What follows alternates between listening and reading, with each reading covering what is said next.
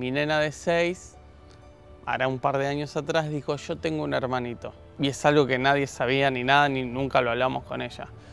Y ella dijo, yo tengo un hermanito que está en el cielo. Es algo compartido, es el hijo nuestro. Está bien, vos lo llevás, eh, eh, pero yo también soy el padre. Era algo nuevo, no, no sabía mucho. Por más que uno no esté, pero acompaña y no sabe de qué se trata ni qué. Y con el tiempo van saltando ciertas cosas.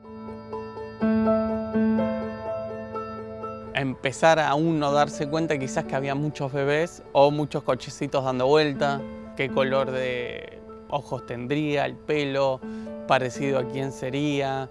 Eh, y es duro porque uno se hace todas estas preguntas. El aborto no es la solución, sino es el, el comienzo de los problemas.